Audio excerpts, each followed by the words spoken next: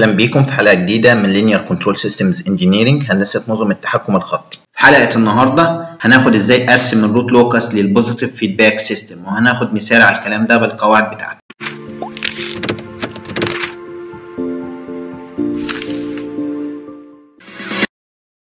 لو عندي system بالشكل ده هنا هنلقى ال feedback عندي positive وهنا ال feedback negative. في الحقيقة ما أقدرش أحكم على ال system عندي positive feedback ولا negative feedback من ال feedback اللي هنا دي. في شرطين أو في اتنين condition عشان أقدر أحكم على ال overall system عندي positive ولا negative أول حاجة في الشرطين دول أول حاجة بجيب ال GH ال GH يعني بجيب ال open loop transfer function عندي. يعني بضرب كل ال transfer function الموجوده في ال loop في بعض وبالتالي هيبقى ال GH عندي ده ال open loop بعد ما أنا أضربها هحصل على transfer function اخلي كل معاملات S لو كان من الاقواس من الدرجة الأولى لازم المعاملات تبقى موجبة.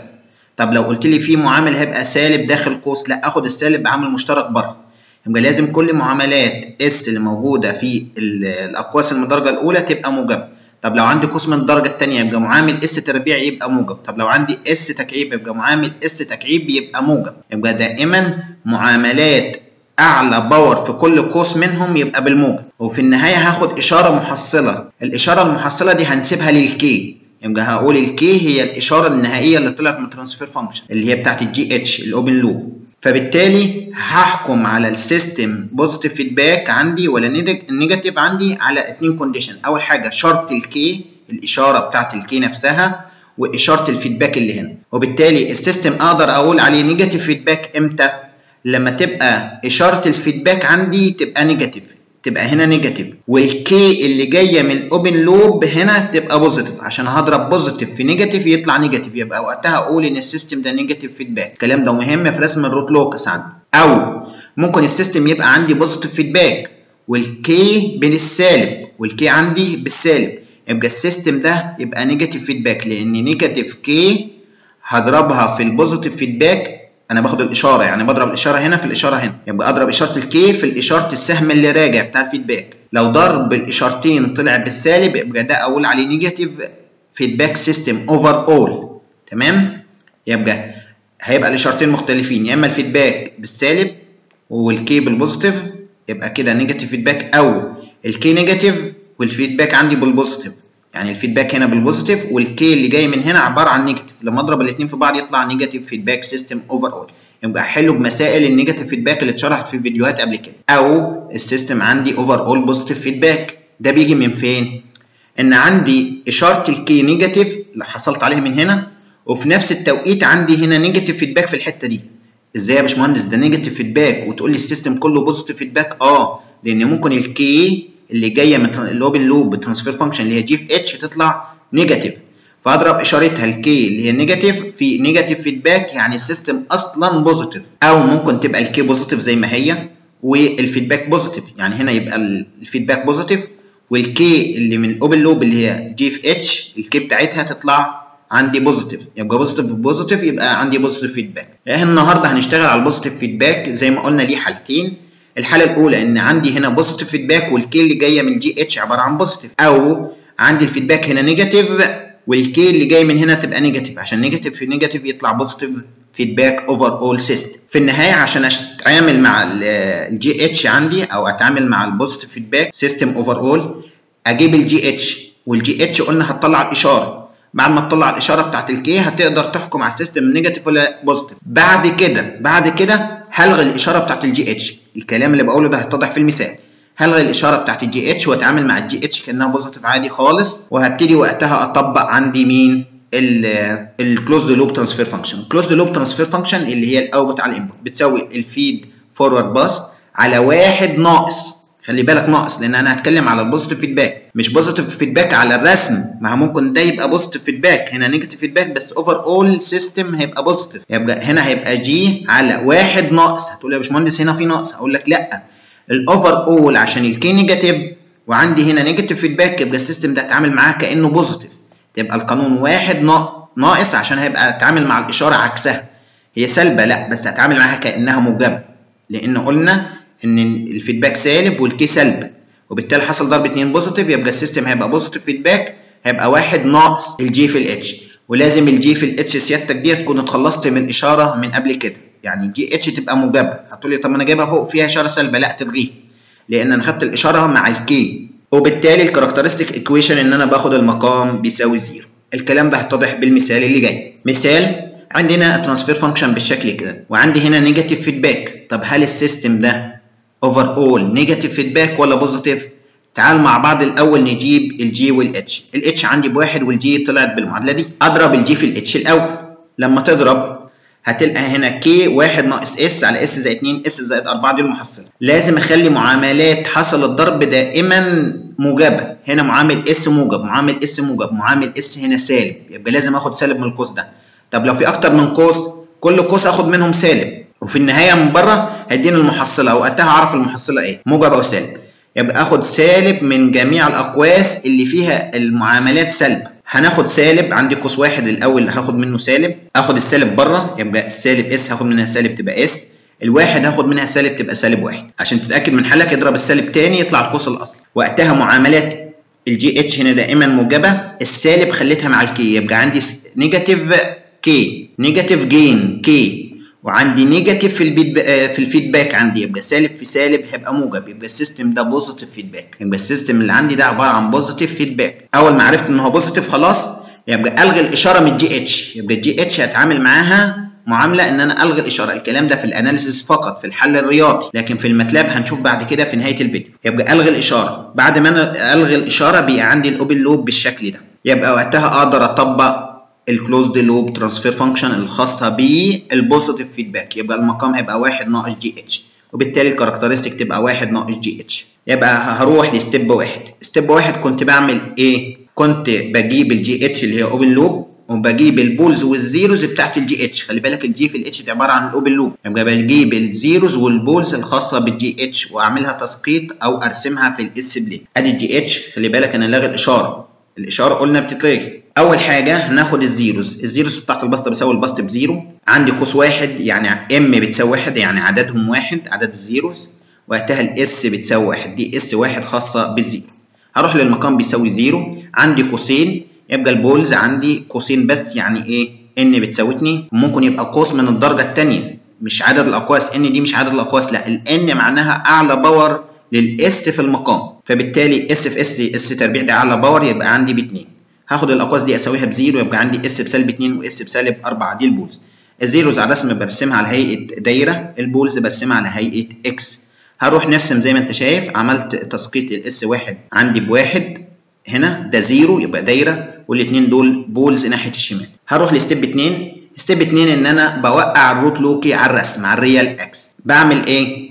في حالة إن أنا شغال positive feedback positive feedback باجي من ناحية اليمين أرسم خط من ناحية اليمين لغاية ما يقابلني zero أو pole. خلي بالك برسم على ال real الرسم بتاعي بيبقى على ال real باجي ناحية اليمين أرسم خط. خط مباشرة يعني أبدأ ب root loci لغاية ما يقابلني pole أو zero. طب لو ما قابلنيش حاجة لما لا نهاية يبقى الخط كله root loci كله root loci الموضوع معكوس مع ال negative feedback تمام؟ يبقى أجي هنا من ناحية اليمين أبدأ ب root loci لغاية ما يقابلني pole أو zero.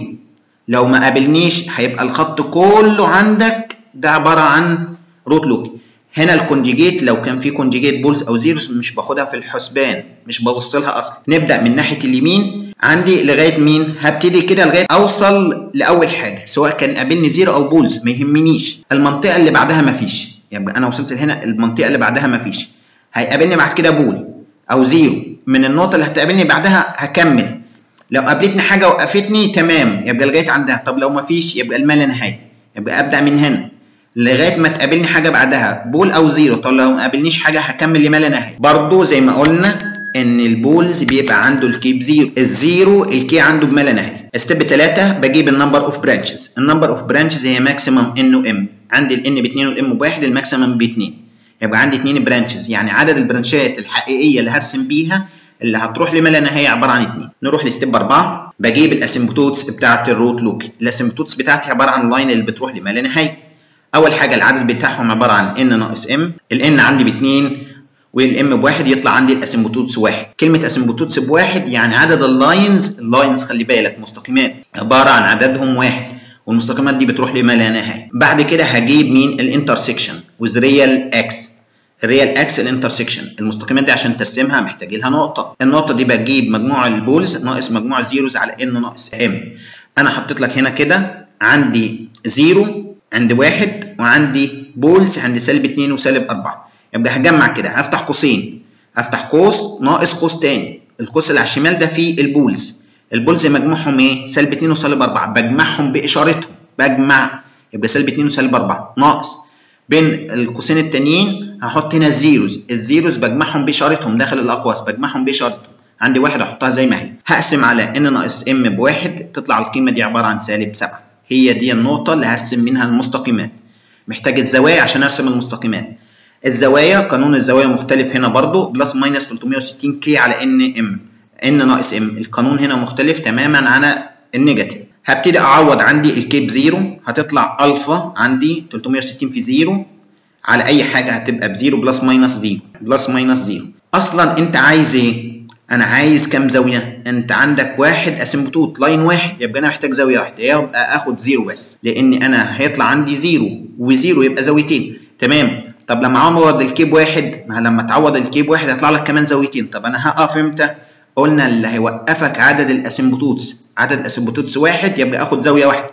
عدد ال asymptotes ثلاثة يبقى آخد ثلاث زوايا. لو في عدد زوايا فردي يعني أنا محتاج ثلاثة هيطلع أول زاويتين موجب وسالب الثالثه تاخد الموجب بتاعها بس. هنروح بعد كده لرسم ال asymptotes عندي. أول حاجة أسقط الدلتا. إحنا قلنا ال slide اللي فات الدلتا فين؟ بسالب 7 هسقط الدلتا على الرسم في أي مكان ايا كان هتطلع فين. همثلها تطلع سالب واحد آه عند سالب 7 عدد الدلتا. قلنا الزاوية بتاعت المستقيم zero. zero يعني هو خط ال real axis عندي zero.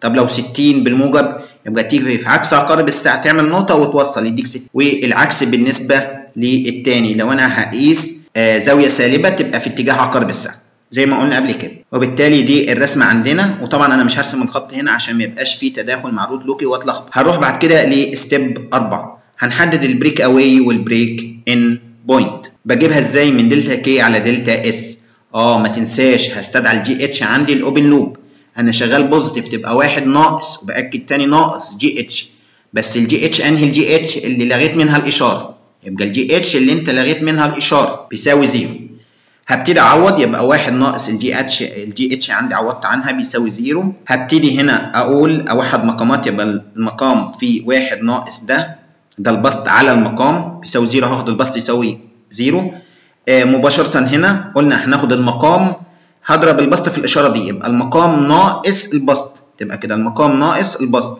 يبقى ادي المقام فكيته ناقص ال k في البسط أهي بيساوي zero.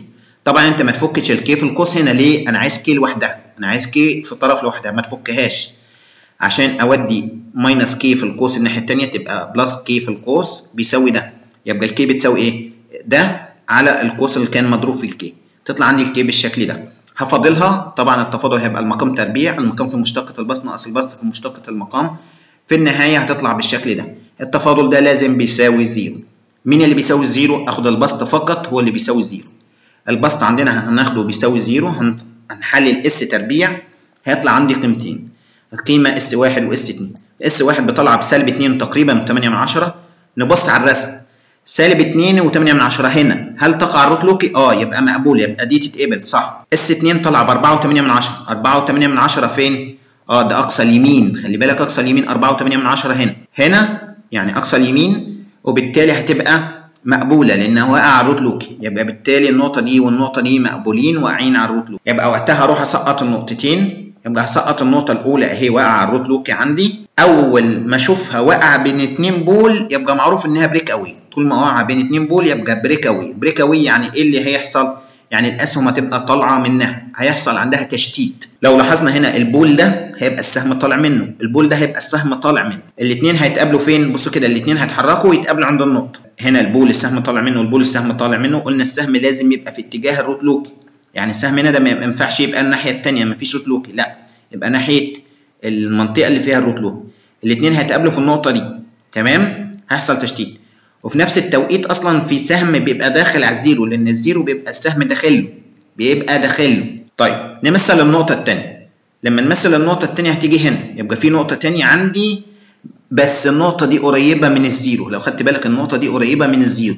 وطول ما النقطة قريبة من ال zero تبقى break break in عندي. تمام؟ يبقى دي break in هروح ل step 6 step 6 خاصة بأجيب الزاوية الخاصة بالديبارشر والارايفل للكومبلكس بولز والكومبلكس آه zeros.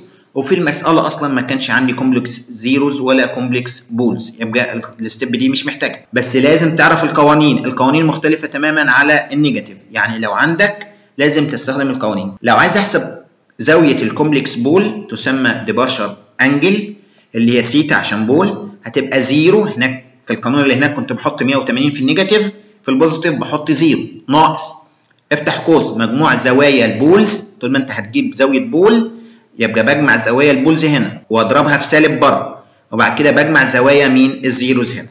هنلاحظ نفس القانون اللي مستخدم مع النيجاتيف مع استبدال ال 180 اللي كانت هناك بزيرو هنا. الزاوية الخاصة بالكومبلكس زيرو اللي هي يطلق عليها زاوية الارايفل زاوية الوصول اللي هي فاي بقول عليها فاي تبقى زيرو ناقص مجموع زوايا الزيروز. بجيب زاوية زيرو كومبلكس تبقى مجموع زوايا الزيروز بضربها في سالب. زائد مجموع زوايا ال poles عندي. وقلنا في المثال عندنا هنا ده إن مفيش complex poles ولا complex zero بالتالي ال step دي ignored ههملها. نروح ل step 7 step 7 بجيب التقاطع مع ال j omega axis بجيب التقاطع مع ال j omega axis قلنا إن أنا بجيبها من ال characteristic equation اللي هي 1 ناقص GH بيساوي 0 دي أنا جايبها في step 5 طلعت بالشكل ده. هروح أعمل إيه؟ هبتدي أفك القوس. عندي 6 s وعندي سالب k s أجمعها مع بعض. عندي 8 ناقص k في سالب 1 بزائد k هتبقى 8 زائد k ده الحد المطلق. جمعت كل حاجة متشابهة مع بعض. وخدت هنا s عامل مشترك وده بقي الحد المطلق. هستخدم ال Routh table يبقى معامل s تربيع معامل s معامل s s 0 يعني الحد المطلق. هبدأ ب s تربيع معاملها بواحد. هسيب اللي بعده واخد الحد المطلق اللي هو 8 زائد k معامل s هيبقى عندي 6 ناقص k وبعد كده هسيب الحد المطلق. في حاجة بعده؟ لا يبقى zero. هفك المحددة دي. افكها إزاي؟ بضرب ده في ده الأول. بفك المحددة بالمقلوبة. اضرب ده في ده. ناقص ده في ده. وبعد كده بقسم على اللي هنا. هيطلع القيمة عندك. أو طول ما المحددة عندك. ببص على ال column الثاني ال column الثاني اللي هنا طول ما آخر عنصر فيه ب zero هسقط القيمة اللي فوق دي على طول تحت هنا. تبقى 8 زائد k تنزل هنا. عشان ال stability لازم ال column الأول كله يبقى موجب. عندي الواحد موجبة تمام؟ يبقى 6 ناقص k تبقى موجبة. يبقى لازم تبقى أكبر من zero. ال condition ده حصلت منه على ال k تبقى أقل من 6 ال k أقل من 6 هروح للقوس الثاني أو للحد الثاني هنا 8 زائد k لازم تبقى موجبة برضه. شرط أساسي عشان ال system يبقى stable إن كل العمود ده يبقى positive عندي. من هنا هحصل على ال k ال k هتبقى عندي هنا أقل أكبر من سالب 8 من هنا هحصل على ال k أكبر من سالب 8 عندي سالب 8 ل 6 يبقى ال range هيبقى من 0 ل 6 لأن ال k ما تبقاش بالسالب. يبقى التقاطع مع ال j omega axis باخد مين؟ باخد معادلة s تربيع. التقاطع مع ال j omega axis باخد معادلة ال s تربيع. يبقى عندي واحد s تربيع قلنا ده هيبقى حد مطلق على طول زائد 8 زائد. هنعوض ال k ب 6 اعوض ال k ب 6 لأن أقل من 6 stable تساوي 6 يبقى critical يعني بيقطع ال j omega axis. بعوض ال k ب 6 عندي يبقى s تربيع زائد 14 بيساوي 0 وقتها هتبقى عندي ال s بتساوي plus minus j جذر 14 وزي ما قلنا هنا 8 زائد k أكبر من 0 يبقى ال k أكبر من سالب 8 ما ينفعش تبقى سلبي يبقى ال k أكبر من 0 واقل من 6 بجمع الشرطين دول مع بعض في condition واحد. أو الطريقة الثانية إن أنا بستخدم ال j omega بمعنى إن أنا بشيل كل s وأعوض عنها ب j omega بعد ما تعوض هنا وتخلص وتجمع ال imaginary وال real مع بعضه هتطلع المعادلة بالشكل كده. هروح أقول ال imaginary عندي اللي هو 6 ناقص k في اوميجا ما تنساش. بشيل ال j الباقي اللي مع ال j ده هو ال imaginary عندي يبقى ده كله بيساوي zero. يبقى هنا المعادلة دي بتساوي zero. ليها حالتين. يا إما القوس ده بيساوي zero أو الأوميجا هي اللي بتساوي zero. يبقى 6 ناقص k بتساوي zero منها ال k بتساوي 6 أو عندي الأوميجا بتساوي zero. دي الحالة الثانية هروح لل real. ال real بيساوي zero. يبقى المعادلة دي بتساوي zero. هروح للمعادلة دي. هنبدأ نعوض عن K ب 6 هنشيل المعادلة دي. نعوض عنها ال K ب 6 تعوض ال K ب 6 يبقى 8 زائد 6 ناقص أوميجا تربيع. تطلع ال omega plus و minus جذر 14 دي عندي ال K ب 6 طب عندي ال omega ب zero. لو ال omega ب zero بتعوض هنا. بعوض هنا عن ال omega ب zero عندي. يبقى 8 زائد K بتساوي 0 تطلع ال K عندي بتساوي سالب 8 يبقى ال K بتساوي سالب 8 وقتها ال omega ب zero. الحتة دي أو الجزئيه دي مرفوضة لأن ال K ما ينفعش تطلع بالسالب. هنا ال K طالعه ب 6 وقتها الاوميجا طالعه بقيمة تمام. يبقى القيمه دي مقبولة. يعني عند ال K ب 6 حصل تقاطع مع ال j omega axis عند القيمة موجب وسالب جذر 14 وبالتالي ده التقاطع عند ال K ب 6 وال omega c موجب سالب جذر 14 وال range بتاعي هيبقى من 0 ل 6 stable بيساوي 6 ده التقاطع. هبتدي عندي أرسم قلنا النقطتين دول قلنا ان النقطة دي بيحصل عندها break away break away يعني بيحصل عندها تشتيت والنقطة دي بيحصل عندها break in لو جينا رسمنا هتبتدي هنا الاثنين هيحصل تداخل أو الاثنين هيتصادموا مع بعض. هيحصل تصادم هيحصل تشتيت. طب التشتيت بقى يعني بعد ما هيتصادموا ده هيروح لما لا نهاية كده؟ لا طبعا. غلط. ليه؟ لأن لو افتكرت في ال asymptotes عندي ال asymptotes اللي أنا جبتها قلت لك الزاوية بتبقى ب zero.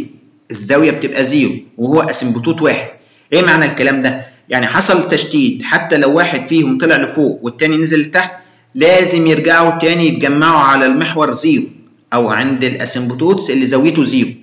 يعني ما ينفعش واحد كده يشت يروح لما لا نهاية في أي اتجاه كده. لازم حتى لو حصل تشتيت ولف لازم تاني يرجع للمنحنى أو لل axis اللي زاويته ألفا بتساوي zero اللي هو ده. يبقى تاني هيحصل هنا تصادم زي ما أنت شايف.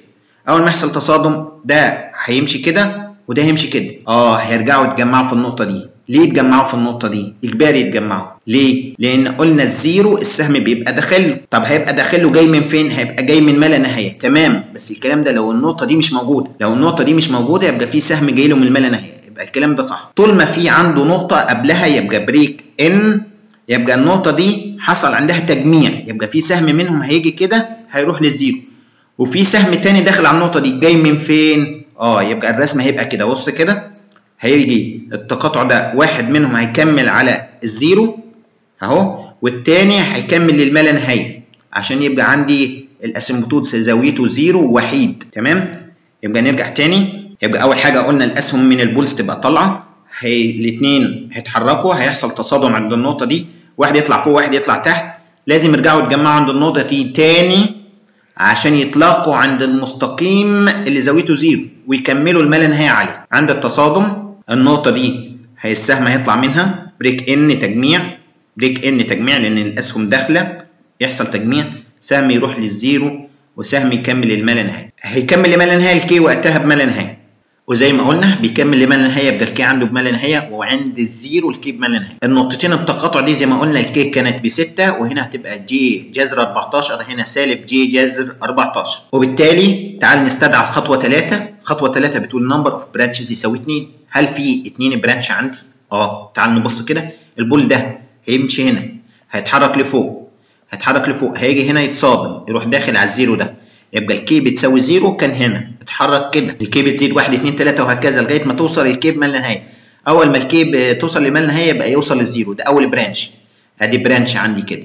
يبقى ال branch فيه بدأت ال K من zero وال K وصلت لما لا نهاية عند ال zero. آه sorry بدأت من pole. وبالتالي هروح لل branch الثاني ال pole عندي ال K تبدأ من zero. ال K بتزيد 1 2 3 هنا حصل تصادم. هينزل لتحت. يكمل. هيحصل تصادم. هيروح يكمل لما لا نهاية. لغاية ما ال K توصل لما لا نهايه عند ال K ما لا نهايه ال pole ده هيوصل لما لا نهايه وبالتالي عندي أدي branch وال branch الثاني جاي من هنا وبيكمل لما لا نهايه وزي ما قلنا إن البرانشات اتنين بيكملوا لما نهايه وفعلا هنا ال branch الأول هيوصل لل zero ال K ما لا نهايه وال branch الثاني هيوصل للما لا نهايه عنده ال K ما لا نهايه وطبعا الرسم ده تقريبي لما رحنا رسمناه على ال MATLAB طلع الشكل زي ما أنت شايف كده.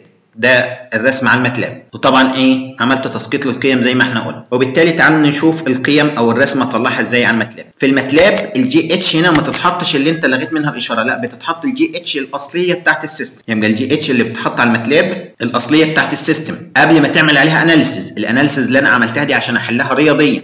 لكن لما تيجي لل MATLAB بتحط ال GH الأصلية.